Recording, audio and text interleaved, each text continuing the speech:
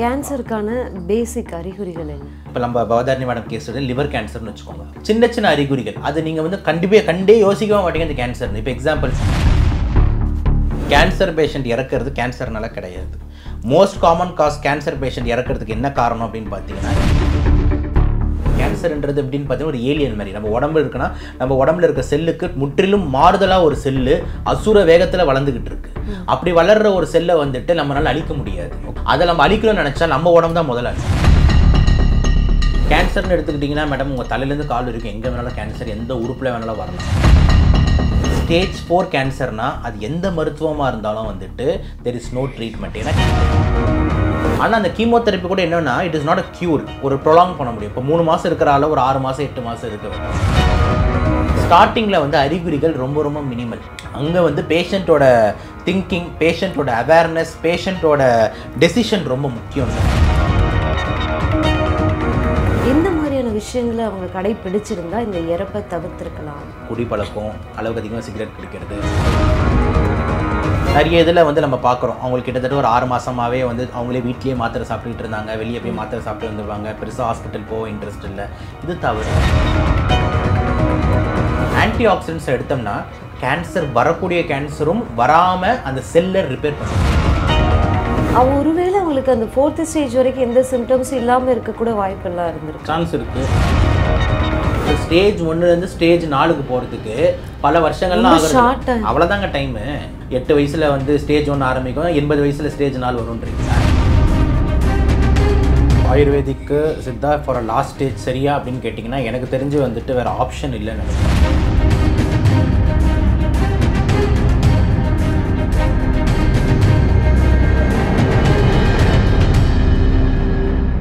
Kumudam reporter நேயர்களுக்கு வணக்கம்.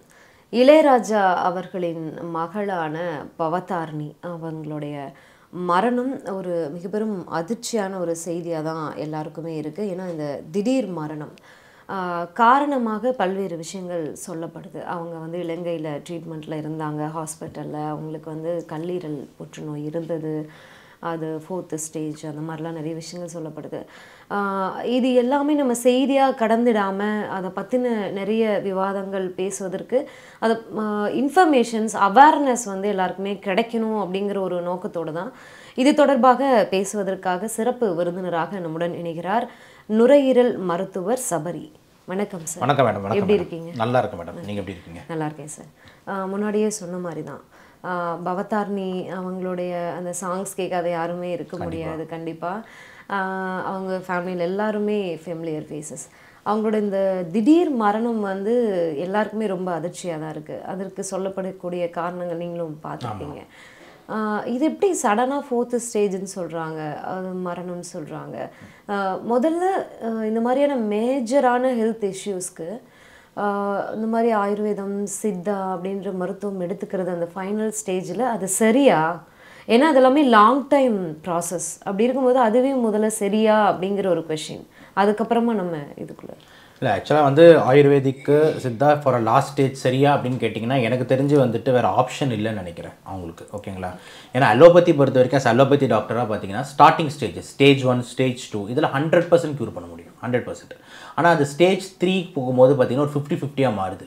Stage ஃபோர்னால் என்ன அர்த்தம்னா நோய் அந்த இப்போ எக்ஸாம்பிள் இவங்களுக்கு வந்து வேறு கல்லீரல் லிவர் கேன்சர்னா ஈரலில் மட்டும் கேன்சர் இல்லாமல் அங்கேருந்து வேறு வேறு இடத்துக்கு பரவுது. இப்போ எக்ஸாம்பிள் குடலுக்கும் சரி வயிற்றுக்கு சரி அப்புறம் வந்து கிட்னிக்கு சரி பிரெயினுக்கு சரி ஹார்ட்டுக்கு லங்ஸுக்குன்னு வேறு வேறு உறுப்புக்கு அதே கேன்சர் பரவிடுது.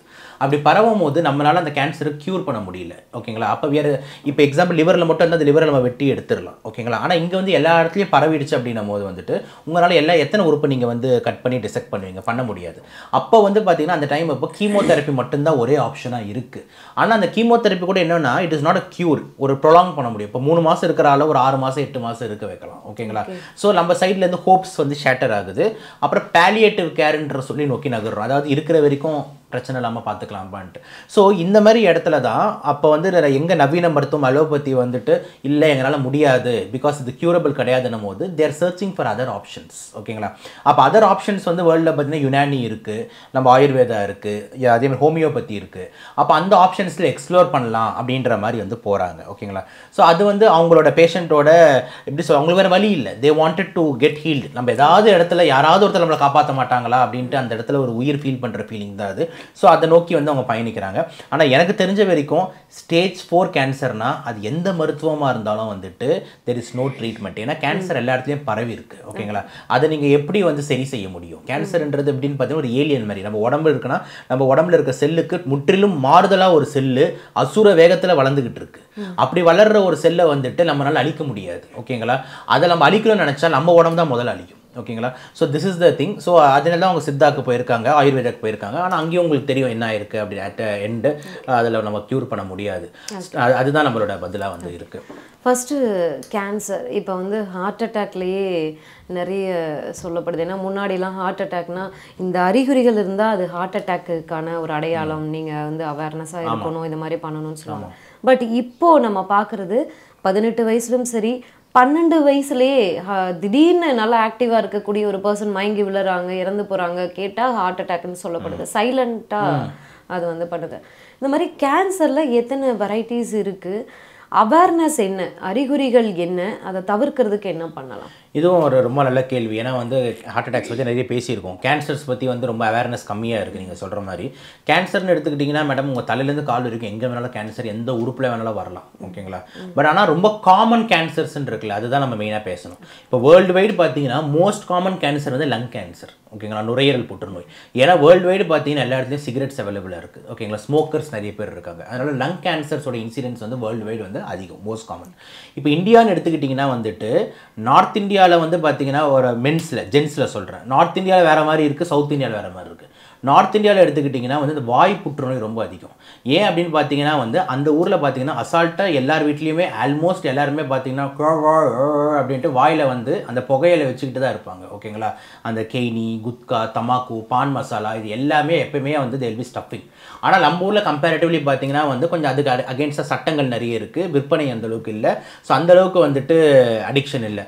ஆனால் இப்போவுமே பார்த்தீங்கன்னா வந்துட்டு எனக்கு கூட அச்சங்கள் ஏற்படுது. ஸ்கூலுக்கெல்லாம் போய் பேசணும் கூல் லிப்னு ஒன்று நிறைய பசங்க பயன்படுத்துகிறாங்க ஓகேங்களா கூல் லிப்னு ஒன்று விற்கிறாங்க பேர் ரொம்ப அழகாக இருக்குது ஓகேங்களா பான் பராக்கு குத்கானா பயமாக இருக்குது கூல் லிப் எப்படி இருக்குது நல்லா இருக்குல்ல. ஸோ அதை எடுத்து வச்சிடுறாங்க. அதுவும் கிட்டத்தட்ட டொபாக்கோ ஓகேங்களா டொபாக்கோ அதுவும். ஸோ நார்த் இந்தியாவில் பார்த்தீங்கன்னா வந்து ஓரல் கேன்சர்ஸ் அதிகம். ஆனால் சவுத் இந்தியாவில் கம்பேரிட்டிவ்லி தமிழ்நாடு மாதிரி இடத்துல பார்த்தீங்கன்னா ஓரல் கேன்சர்ஸ் அந்த அளவுக்கு இல்லை. பட் ஆனால் லங் கேன்சர்ஸ் வந்து ஸ்மோக்கர்ஸ் அதிகம் இங்கே. அங்கே ஸ்மோக்கர்ஸ் கொஞ்சம் கம்மி.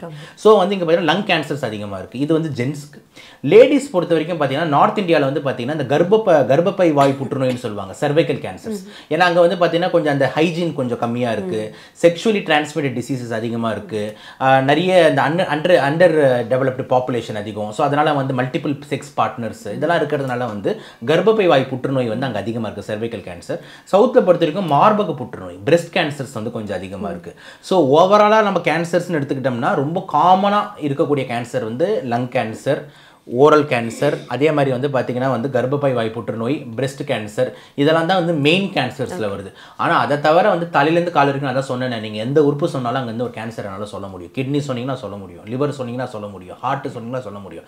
ஆனால் இதெல்லாம் கொஞ்சம் ரேர் ரேரிட்டி ரொம்ப காமன்ஸாக நம்ம பார்க்கறது வந்து இந்த இதெல்லாம். ஏன்னா இது எல்லாமே லைஃப் ஸ்டைலுக்கு லிங்க்டாக இருக்கக்கூடிய கேன்சர்ஸ் இதுதான் வந்துட்டு கேன்சர்ஸோட கேன்சருக்கான பேசிக் அறிகுறிகள் என்ன? பேசிக் அறிகுறி வந்து ரெண்டு இதுவாக பிரிக்கலாம் மேடம் எந்த கேன்சரோ அந்த உறுப்புக்கு ரிலேட்டட் சிம்டம்ஸ் அப்புறம் ஜென்ரல் சிம்டம்ஸ் அப்படின்னு பிரிக்கலாம். இப்போ எக்ஸாம்பிள் நான் வந்து லிவர் இப்போ நம்ம பவதாரணி மேடம் கேஸ் லிவர் கேன்சர்னு வச்சுக்கோங்க. அப்போ லிவர் தான் வந்து மெயின் உறுப்பு ஃபார் டைஜஷன் ஜூஸ் ப்ரொடக்ஷன் இது எல்லாமே ஓகேங்களா ஸோ லிவர் கேன்சர் அப்படின்ற மாதிரி இருக்கும்போது வந்து ஸ்டார்டிங் ஸ்டேஜஸ்லாம் உங்களுக்கு ஒன்றுமே தெரியாது. சராசரியாக இருக்கிறாங்க. அடுத்து கொஞ்சம் லைட்டாக அந்த கேன்சர் வளரும் போது சின்ன சின்ன அறிகுறிகள். அது நீங்கள் வந்து கண்டிப்பாக கண்டே யோசிக்கவே மாட்டீங்க இந்த கேன்சர் இப்போ எக்ஸாம்பிள் நீங்கள் போய் நல்லா வந்துட்டு சரணாபவனில் ஏதோ ஒரு நல்ல ரிசோர்ட் நல்ல ஒரு மீல் சாப்பிட்றீங்க. உங்களுக்கு என்ன இருக்கும்? ஒரு வயிறு கொஞ்சம் உபசமாக இருக்கும். அதுக்கப்புறம் யாப்பம் வரும். இதெல்லாம் நீங்கள் வந்து ஐயோ இது என்ன கேன்சராக யோசிப்பீங்களா? கிடையாது. ஓகேங்களா? நார்மல் இது டைஜஷன் அப்படின்னு ஜாலியாக இருப்போம் இதே மாதிரி ஒரு வாரம் ஃபுல்லாக நடந்துக்கிட்டே இருக்குன்னு வச்சுக்கோங்க. ஓகேங்களா? நம்ம நம்ம என்ன நினைப்போம் ஒன்றில் சும்மா வயிறு எப்போ பார்த்தாலும் சாப்பிட்டா உபசம் அது சரி விடு ஃப்ரீயா. அப்படின்ற மாதிரி நினச்சிக்கிட்டு இந்த ஜெல்லிஸில் அது இது ஈனோகனு குடிச்சிட்டு குடிச்சிட்டு ஓட்டிக்கிட்டு இருப்போம். ஆனால் இதுதான் ஸ்டார்டிங் ஸ்டேஜஸோட சிம்டம்ஸே ஓகேங்களா? ஸோ நம்மளுக்கு வந்து எதுவுமே தெரியாது. ஓகே? ஸோ நம்ம மக்களுக்கு இங்கே தான் ஒரு அவேர்னஸை க்ரியேட் பண்ணுறோம் என்ன சொல்கிறோன்னா ஒரு சிம்டம் உங்களுக்கு தொடர்ச்சியாக ஒரு வாரத்துக்கு மேலே இருக்குன்னா டாக்டர் போய் பார்த்துருங்க ஓகேங்களா? அந்த தலைவலிக்குது. தலைவலி மாத்திரை போட்டுக்கிட்டு பேரஸ்டமால் போட்டுட்டு ஓட்டிக்கிட்டே இருக்கேன். ஒரு வாரம் ஃபுல்லாக அடுத்த வாரம். ஏன் நீங்கள் போய் ஒரு நியூராலஜிஸ்ட்டை பார்க்கலாமே? நியூராலஜிஸ்ட் பார்த்துட்டு அம்மா இது ஒரு டென்ஷன் ஹெட்டேக் தாம்மா. இது ஒரு மைக்ரைன் தாமான்னு சொல்லிட்டா கான்ஃபிடென்ட்டாக இருக்கலாம். ஓகே இதே ரொம்ப ரேராக ஒரு அஞ்சு பர்சன்ட் கேஸில் அது வந்து மூளை புற்றுநோயாக இருக்க வாய்ப்பு இருக்குது பிரெயின் டியூமர் அப்படின்னு சொல்லி கேள்விப்பட்டிருப்பீங்க. அப்படி அதுவும் தலைவலியோட தான் ப்ரெசென்ட் ஆகும் ஸ்டார்டிங் ஸ்டேஜஸில் ஓகேங்களா சிம்டம்ஸ் வந்து பார்த்தீங்கன்னா ஸ்டார்டிங் ஸ்டேஜஸில் லிவருக்கு பொறுத்த வரைக்கும் இவ்வளோ தான் இருக்கும் ஓகேங்களா அடுத்த ஸ்டேஜுக்கு போகும்போது தான் லிவர் கேன்சர்ஸில் வந்து பார்த்தீங்கன்னா அந்த டேஞ்சர் அந்த லிவர்லேருந்து ஃபங்க்ஷன்ஸ் ஃபுல்லாக பரவி மற்றருக்குலாம் பரவும் போது வயிறு உப்பசம் ஆகுது அப்போ தான் பேஷண்ட் பார்க்கவே. என்னடா வயிறு வீங்கிட்டே போகுது. என்னடா வயிறில் ஆட்டினா தண்ணிலாம் ஓடுது. என்ன இந்த இடத்துல ஏதோ பாறாங்கல் வச்ச மாதிரி இருக்குது என்ன கண்ணுலாம் மஞ்சள் ஆகுது இந்த ஐ படத்தில் விக்ரம் சார் பார்ப்பார் அவரே. அந்த மாதிரி என்ன கண்ணுலாம் மஞ்சள் ஆக ஆரம்பிக்குது உடம்புலாம் ரொம்ப வீக் ஆகுது அப்படின்றது வந்து சிம்டம்ஸ்லாம் வந்துட்டு லேட்டர் ஸ்டேஜஸில் தான் வருது. அந்த ஸ்டேஜ் அப்போ போகும்போது ஆல்ரெடி டாக்டர் வந்து பார்த்தீங்கன்னா வந்துட்டு அந்த ரமணா படத்தில் சொல்கிற மாதிரி ஐம் வெரி சாரி அப்படின்ற மாதிரி ஒரு டைலாக் ஸ்டேஜ் த்ரீல இருக்கீங்க ஸ்டேஜ் ஃபோரில் இருக்கீங்க அப்படின்றாங்க. ஸோ ஸ்டார்டிங்கில் வந்து அறிகுறிகள் ரொம்ப ரொம்ப மினிமல் ஓகேங்களா அங்கே வந்து பேஷண்ட்டோட திங்கிங் பேஷண்ட்டோட அவேர்னஸ் பேஷண்ட்டோட டெசிஷன் ரொம்ப முக்கியன்ற ஸோ அவங்க ரொம்ப லேட்டாக வந்து நல்ல ஃபுல் ப்ளோன் சிம்டம்ஸோட வரும்போது ஆல்ரெடி அது த்ரீ ஃபோரில் வந்து இருக்குன்ற. ஸோ இதான் வந்து கேன்சர் வந்து உறுப்புக்கு உறுப்புக்கு அறிகுறி. இப்போ நுரையீரல் எடுத்தீங்கன்னா அதே மாதிரி இரும்பல் இருக்கும் சளி இருக்கும். இது காமனாக தெரியும். ரத்தம் வரும் இருமுனா ஓகேங்களா மூச்சு வாங்கும். இதெல்லாம் நுரையீரலோட சிம்டம்ஸ் அறிகுறி. ஒரு நாள் இரும்பல் ஓகே ஆனால் ஒரு வாரத்துக்கு மேலே இருந்ததுன்னா? ஸோ அப்போ நீங்கள் வந்து போய் செக் பண்ணலாமே அப்படின்றது தான் என்னன்னு போய் பார்த்துக்கோங்களேன். ஏன்னா கேன்சர் மட்டும் சொல்லலை. என்ன வேணால் இருக்கலாம். டிபியாக இருக்கலாம். ஓகே வேறு இன்ஃபெக்ஷனாக இருக்கலாம் பூஞ்சையாக இருக்கலாம் கேன்சராகவும் இருக்கலாம் ஓகேங்களா ஸோ இந்த மாதிரி வந்துட்டு சிம்டம்ஸ் பெர்சிஸ்ட் ஆகுறது அப்படின்னும் போது போய் டாக்டரை பாருங்கன்றது ஒரு இம்பார்ட்டன்ட் டேக் ஹோம் மெசேஜஸாக மக்களுக்கு போயிட்டு சேரணும் அப்படின்றது வந்து நம்மளோட இதுவாக இருக்குது ஸோ இதை தான் இதெல்லாம் வந்து இந்த உறுப்பு வயசு அறிகுறிகள். உறுப்பு இல்லாத அறிகுறின்னு எடுத்துக்கிட்டிங்கன்னா உடம்பு வெயிட்டு குறைஞ்சிக்கிட்டே போகும். பசி மென்மை குறையும் எந்த இடத்துல கேன்சர் இருந்தாலும் சரி. ஏன் அப்படின்னா வந்து கேன்சர் வந்து அசுர வேகத்தில் வளர்றவன். அப்போ அவன் எங்களுக்கு அவனுக்கு எங்கேருந்து சக்தி கிடைக்குது? நம்ம உடம்பு தான் சக்தி ஓகேங்களா ஸோ அவன் க்ரோ ஆகிட்டே போகணும்னு ஆசைப்படுவான். நம்ம சாப்பிட்றதுல எண்பது பர்சன்ட் நியூட்ரிஷன் அவன் எடுத்துக்கிறான். அப்போ என்ன ஆகுது அப்படின்னு பார்த்தீங்கன்னா நம்ம உடம்புல இருக்கிற எல்லா சத்து ஃபேட் முதல்ல பாருங்க ஆள் வெயிட் இருக்கிற ஃபேட் எல்லாம் குறைஞ்சிரும் ஓகேங்களா அப்புறம் வந்து பார்த்தீங்கன்னா தசையெல்லாம் குறைஞ்சிரும். அப்புறம் வந்து இந்த எலும்பு கொடுக்கு ட்ரெஸ்ஸை மாட்டின மாதிரி அப்படியே சுற்றிக்கிட்டு இருக்க வேண்டியது தான் ஓகேங்களா ஸோ எல்லாத்தையும் சக் பண்ணிக்கிட்டு சக் பண்ணிக்கிட்டு அது வளர்ந்துக்கிட்டே போகும் ஓகேங்களா ஸோ இதான் வந்துட்டு so loss of weight loss of appetiteன்னு சொல்லுவாங்க. பசி எடுக்கல வெயிட் குறையுது. அதுக்கப்புறம் இதெல்லாம் ஜென்ரல் சிம்டம்ஸ் அதுக்கப்புறம் வந்து பார்த்தீங்கன்னா இந்த ஸ்பெசிஃபிக் சிம்டம்ஸ் எந்த உறுப்பில் இருக்கோ அந்த உறுப்புக்கான அறிகுறிகள். இதுதான் வந்து கேன்சரோட மெயின் அறிகுறிகளாக இருக்குது இன்னொரு பாயிண்ட்டை சொல்லிடுறேன். கேன்சர் பேஷண்ட் இறக்கிறது கேன்சர்னால கிடையாது. Most common cause cancer patient இறக்கிறதுக்கு என்ன காரணம் அப்படின்னு பார்த்தீங்கன்னா இன்ஃபெக்ஷன் ஓகேங்களா அதாவது தொற்று நோய். இப்போ உங்கள் உடம்புல வந்து கேன்சர் வந்து உங்கள் உடம்பு ஃபுல்லாக உருக்கிட்டே போயிட்டு இருக்கிற ரத்தம் இருக்கிற இம்யூனிட்டி எதிர்ப்பு சக்தி எல்லாத்தையும் சக் பண்ணி எடுத்துருது. அப்போ உங்கள் உடம்பு எப்படி ஆகிடுதுன்னா எந்த எதிர்ப்பு சக்தும் இல்லாமல் ஒரு நடைப்பணம் இம்யூனோ டெஃபிஷியன்சியாக மாறிடுறீங்க. நம்ம காற்றுல எத்தனை கிருமி இருக்குது எத்தனை வைரஸ் இருக்குது எத்தனை பாக்டீரியா இருக்குது இதெல்லாம் உங்கள் உள்ளே போய் போந்த உடனே அவங்களுக்கு அதுதான் தேவை. யாருக்கு? கிருமிகளுக்கு.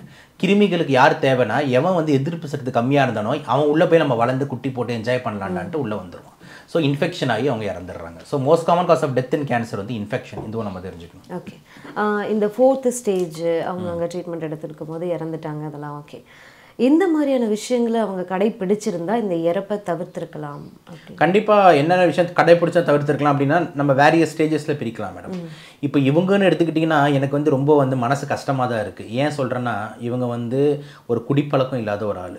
அதே மாதிரி வந்து ஒரு சிகரெட் பிடிக்காத ஒரு ஆள். புரியுதுங்களா? அதே மாதிரி அதிலிருந்து பேசக்கூட ஆ, ரொம்ப மென்மையான ஒரு ஆள். ஓகேங்களா?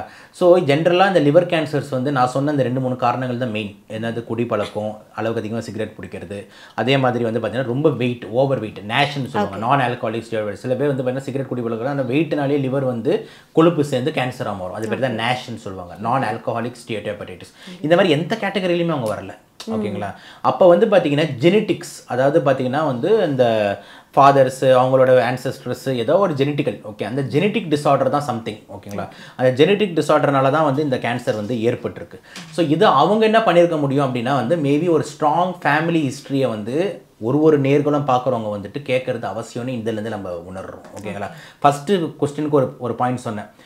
ரொம்ப நாள் ஒரு வாரத்துக்கு மேலே ஒரு சிம்டம் இருந்தால் போய் பாருங்க. அது ஒரு டேக் ஹோம் மெசேஜ் இது ரெண்டாவது டேக் ஹோம் மெசேஜாக நம்ம எடுத்துக்கலாம். ஓகேங்களா ஃபேமிலி ஸ்க்ரீனிங் பண்ணுங்க. நீங்கள் கெட்ட பழக்கமே இல்லை அப்படின்னாலும் வந்துட்டு நம்ம தாத்தாக்கு என்ன இருந்தது? நம்ம பாட்டிக்கு என்ன இருந்தது? நம்ம சித்தப்பன் சித்தி மாமா மாமி எல்லாருக்கும் என்ன இருக்குது அப்படின்னு சொல்லிட்டு அவங்க நோய்களை வந்து பற்றி தெரிஞ்சுக்கோங்க. ஓகேங்களா? அந்த மாதிரி ஃபெமிலியல் கேன்சர்ஸ் இருந்ததுன்னா அப்போ நம்மளுக்கு வரதுக்கு ஒரு வாய்ப்பு இருக்குது நம்ம அடுத்த சங்கதிகளுக்கும் வர வாய்ப்பு இருக்குன்னு சொல்லிட்டு அப்போ வந்து நம்ம ஒரு ஸ்க்ரீனிங்கை வந்து மேற்படலாம் ஓகேங்களா? ஸோ அந்த மாதிரி ஒரு ஃபேமிலி ஜெனட்டிக் கேன்சர்ஸ் இருந்ததுன்னா we can go for a screening master checkup மாதிரி போயிட்டு எங்கள் ஃபேமிலியில் இந்த மாதிரி ஹிஸ்ட்ரி இருக்குங்க. எனக்கு எந்த அளவுக்கு வாய்ப்பு இருக்குது ஏதாவது இருக்கா இப்போ? செக் பண்ணுங்க அப்படின்னு சொல்லிட்டு. ஸோ செக் பண்ணிட்டு ஒன்றும் இல்லையானா நிம்மதியாக வந்துடலாம் புரியுதா நான் சொல்கிறது ஃபியூச்சர் ஒரு பத்து வருஷம் அப்புறம் திருப்பி செக் பண்ணணும் டாக்டர் பத்து வருஷம் அப்புறம் வந்து செக் பண்ணிக்க வேண்டியது தான் ஓகேங்களா ஸோ இந்த மாதிரி வந்து செகண்ட் டேக்கோ மெசேஜ் வந்து இந்த ஸ்ட்ராங் ஃபேமிலி ஹிஸ்ட்ரி வந்து அவங்க வந்து கண்காணித்து முன்கூட்டியே பார்த்துருக்கலாம். ஓகே மூணாவது வந்து பார்த்தீங்கன்னா நான் சொன்ன அந்த ஏர்லி சிம்டம்ஸ் நிறைய இதில் வந்து நம்ம பார்க்குறோம் அவங்களுக்கு கிட்டத்தட்ட ஒரு ஆறு மாசமாவே வந்து அவங்களே வீட்லேயே மாத்திரை சாப்பிட்டுக்கிட்டு இருந்தாங்க. வெளியே போய் மாத்திரை சாப்பிட்டு வந்துருவாங்க. பெருசாக ஹாஸ்பிட்டல் போக இன்ட்ரெஸ்ட் இல்லை. இது தவறு. ஓகேங்களா? இப்போ ஸ்டார்டிங்கில் உங்களுக்கு வந்து ஏதோ லைட்டாக வயிறு வலிக்குது. உங்களுக்கு வந்து செரிமான பிரச்சனை இருக்குது உபசம் இருக்குன்னும் போது நீங்கள் வந்து அதை நெக்லெக்ட் பண்ணிடுறீங்க. சிம்பிளாக ஒரு ஜெலுசிலியோ ஒரு ஈனோவையோ குடிச்சிட்டோ இல்லைன்னா ஒரு மாத்திரையை சாப்பிட்டோ நீங்கள் அதை ஓட்டிடுறீங்க. அப்படி பண்ணாமல் என்னடா தொடர்ச்சியாக எனக்கு அறிகுறி இருக்கேன்னு சொல்லிட்டு அப்பயே போய் டாக்டரை பார்த்து தான் மேபி அப்போ சொல்லியிருப்பாங்க. ஒரு அல்ட்ராசவுண்ட் எடுத்தால் கூட மா லிவரில் ஒரு சின்னதாக ஒரு கட்டி ஆரம்பிச்சிருக்குமா? அப்படின்ற மாதிரி தெரிய வரும். ஸ்டார்டிங் ஸ்டேஜ் தான். ஒன்றும் பிரச்சனை இல்லை. அந்த லிவரை மட்டும் கட் பண்ணி அந்த அந்த கேன்சரை மட்டும் கட் பண்ணி எடுத்துட்டா சரியாயிடும். அப்படின்னு முடிஞ்சிருக்கும். ஆனால் நாங்கள் அதை தட்டி கழிக்கும் போது வித்தின் மந்த்ஸ் ஒரு மாதம் ரெண்டு மாதம் மூணு மாதம் நாலு மாதம் நாலாவது ஸ்டேஜ் முடிஞ்சிருச்சு. ஸோ ஸ்டேஜ் ஒன்றுலேருந்து ஸ்டேஜ் நாலுக்கு போகிறதுக்கு பல வருஷங்கள்லாம் ஆகுது அவ்வளோதாங்க டைமு பின்ன என்ன நினைக்கிறீங்க? நீங்கள் என்ன எட்டு வயசில் வந்து ஸ்டேஜ் ஒன்று ஆரம்பிக்கும் எண்பது வயசில் ஸ்டேஜ் நாலு வரும்ன்றீங்களா? ஏங்க. ஸோ வந்து அவ்வளோதான் டைம் ஆறு மாதம் தான் டைம் ஓகேங்களா? அந்த ஆறு மாசத்துல ஒன்றுலேருந்து நாலுக்கு போயிடும் அசுரங்க ஸ்பீடாக வளருவாங்க. அவன் தாங்க கேன்சர் கேன்சர் இல்லை இது ஹார்ட் அட்டாக்குக்கும் கேன்சருக்குமான வித்தியாசம் இதுதான். ஏன்னா ஹார்ட் அட்டாக் வந்து ஷார்ட் டேர்மில் உருவாது கிடையாது. இது டென் இயர்ஸ் மேலே டைம் எடுத்துக்கும். ஹார்ட் பிளாக் தான் வந்து ஷார்ட் டேர்ம்னு சொல்கிறாங்க அப்போ கேன்சர் வந்து இட்ஸ் ஷார்ட் டேர்ம் ஆமாம் மெலிக்னன்சினால என்ன? மெலிக்னன்சி கேன்சர்னால என்ன he's and demon he grows ஓகேங்களா? அவருக்கு வந்து வளரணும். வளருவார். பயங்கரமாக வளருவார். ஸ்பீடாக வளருவார். ஓகேங்களா? ஸோ சிக்ஸ் மந்த்ஸ் தான் நம்மக்கிட்ட டைம் இருக்குது அதில் ஸ்டார்டிங் ஸ்டேஜஸ் முதல் ரெண்டு மாதம் வந்து பார்த்தீங்கன்னா சின்ன சின்ன இந்த மாதிரி அறிகுறிகள் தான் காமிக்கும். அந்த அறிகுறிகளே நம்ம போய் பண்ணியிருக்கணும் அப்படின்றது தான் நம்ம ஆன்சராக இருக்குது மூணாவது லாஸ்ட்டாக அவங்க என்ன பண்ணியிருக்கலாம் அப்படின்ற மாதிரி எடுத்துக்கிட்டிங்கன்னா வந்துட்டு டயட்டில் வந்து முன்னாடியே நல்ல மாடிஃபிகேஷன்ஸ் எக்ஸாம்பிள் வந்து அவங்க என்ன கெட்ட பழக்கத்தை சொல்லலை. பட் ஆனால் ஜென்ரலாக பப்ளிக்கு என்னென்னா vitamin C.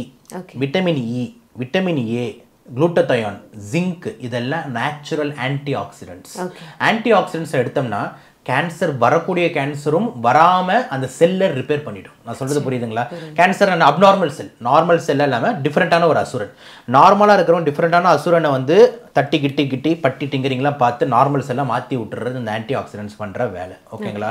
ஆனால் இப்போ யோசிச்சு பாருங்கள் நம்ம டயட்டில் இந்த ஆன்டி ஆக்சிடென்ட்ஸ் எடுத்துக்கிறோமான்ட்டு முக்காவாசி குழந்தைங்க எடுத்துக்கிறது இல்லைங்க. காலங்காத்தில் ஒரு சிப்ஸை திறக்குதுங்க. மதியானம் வந்து ஒரு பிஸ்கெட்டை திறக்குதுங்க. நைட்டு வந்து அந்த இந்த சிக்கன் இந்த ஃப்ரைடு சிக்கன் பார்பியூ சிக்கன் அடிச்சிருதுங்க. ஓகேங்களா? ஏதோ ஒரு மயோனிஸ் வெள்ளை கலரில் கொடுக்குறான் நல்லா தொக்கு மாதிரி சாப்பிடுதுங்க. ஓகேங்களா? முக்காவாசி பேர் வீட்டிலேயே சாப்பிட்றது இல்லை. ஸோ சாப்பிட்ற டயட்டில் பார்த்தீங்கன்னா எங்கே வந்து எந்த குழந்தை டெய்லி ஒரு ஆரஞ்சு ஒரு ஆப்பிள் ஒரு ரெண்டு மூணு காய்கறிங்க சாப்பிடுதுன்னு சொல்லுங்கள் கை விட்டுருங்கன்னா கிடையாது. ஓகேங்களா? So nobody is taking antioxidants அப்போ உடம்பு ஃபுல்லாக ஃப்ரீ ரேடிக்கல்ஸ் அதாவது கெட்டவன் அந்த ஆக்சிடென்ட்ஸ் வந்து இன்க்ரீஸ் ஆகிட்டே இருக்குது அப்படி இன்க்ரீஸ் ஆகும்போது கேன்சர் சேஞ்சஸ்க்கான வாய்ப்பு அதிகமாக இருக்குது ஸோ நம்மளே நம்ம நிறைய பேஷண்ட் ஸ்மோக்கிங்னால வராங்க லங் கிளென்சிங்க்கு ஏதாவது பண்ணுங்கன்னா யோ ஆன்டி ஆக்சிடென்ட் சாப்பிடியா? அப்படின்னு சொல்லிட்டு ஆன்டி ஆக்சிடென்ட்ஸை வந்து டயட்டை வந்து ப்ரிஸ்கிரைப் பண்ணுறோம் சில பேர் டெய்லி டெய்லி டெய்லியில் மூணு ஆரஞ்செல்லாம் சாப்பிட முடியாது சார். ஒன்றும் பிரச்சனை இல்லை மாத்திரை இருக்குது போடுங்க வாயில் அப்படின்னு போட்டு விட்டுறது.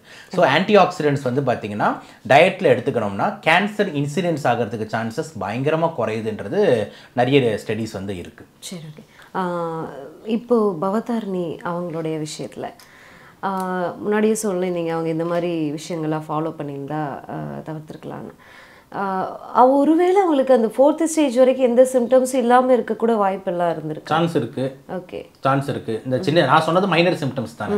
அதெல்லாம் அலட்சியமாக யார் வேணால் விட்டுருவாங்க.